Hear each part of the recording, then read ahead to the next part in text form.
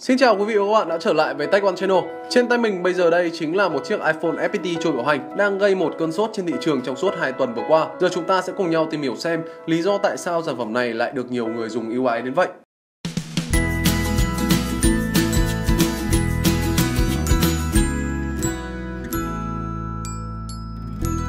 Lý do đầu tiên đó chính là iPhone FPT chưa kích hoạt trôi bảo hành với nguồn gốc chất lượng đảm bảo. Trước khi tìm hiểu lý do sản phẩm trở nên hút khách, người tiêu dùng cần hiểu iPhone FPT chưa kích hoạt trôi bảo hành là gì. Đó chính là những sản phẩm iPhone chính hãng đến từ chính Apple. Hàng trôi bảo hành mới 100%. Các bạn nhớ nhé, mới 100%, full VAT và hoàn toàn chưa được kích hoạt. iPhone FPT trôi bảo hành được phân phối bởi nhà nhập khẩu FPT Trading và một lý do nữa đó chính là iPhone FPT trôi bảo hành là sản phẩm dùng để đổi bảo hành cho người dùng từ chính sách bảo hành một đổi một của Apple. Các bạn có thể tự mình kiểm tra tình trạng máy đã active hay chưa bằng cách kiểm tra qua số series hoặc số email trên trang chủ của Apple. Ví dụ như là www.apple.fpt.com.vn hoặc là www.checkcoverage.apple.com. Các bạn sẽ nhận được thông báo Please Active your iPhone, tức là máy vẫn chưa được kích hoạt nhưng khi các bạn bỏ sim vào và kích hoạt máy sử dụng thì máy của chúng ta sẽ bị trôi bảo hành và hiển thị ngày kích hoạt là một ngày khác với ngày bạn kích hoạt máy, còn khoảng 3 tháng bảo hành trên hệ thống của Apple. Và lý do thứ hai đó chính là iPhone FPT trôi bảo hành với giá bán rẻ hơn iPhone sách tay. iPhone FPT trôi bảo hành các đời như là 4 này, 4S, 5, 5S, 6, 6 Plus có giá khá hợp lý và vừa với túi tiền của đa số người dùng Việt hiện nay. Nếu trước đây với số tiền từ 2 triệu,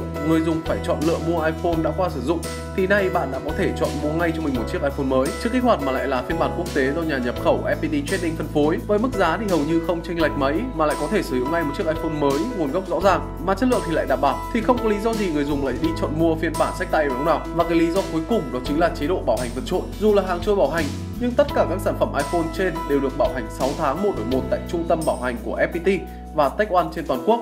Vì vậy các bạn hoàn toàn có thể yên tâm mà sử dụng. Vừa rồi mình đã nêu ra những lý do khiến iPhone trôi bảo hành tạo nên một cơn sốt trên thị trường trong hai tuần vừa qua. Nếu như các bạn quan tâm đến sản phẩm thì hãy click vào link bên dưới. Và nếu như các bạn còn thắc mắc gì thì hãy comment. Còn bây giờ, xin chào và hẹn gặp lại các bạn trong các video lần sau. Xin cảm ơn. Tech One, uy tín và giá trị đích thực.